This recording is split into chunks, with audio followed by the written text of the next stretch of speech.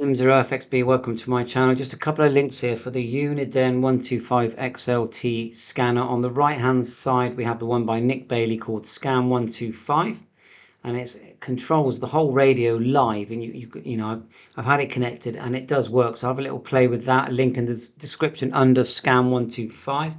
And then on the left, you've got the ARC 125 again for importing, exporting, and look at all these different selections you've got here at the top. I'm completely new to this. I've got a lot to learn. You can cut, copy, paste. You've got all these different options.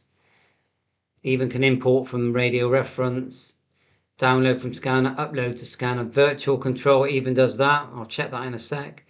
Calculator, hex converter, radio reference, frequency search, GPS, open device manager and more.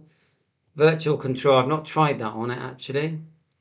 So let's uh, see if it does anything.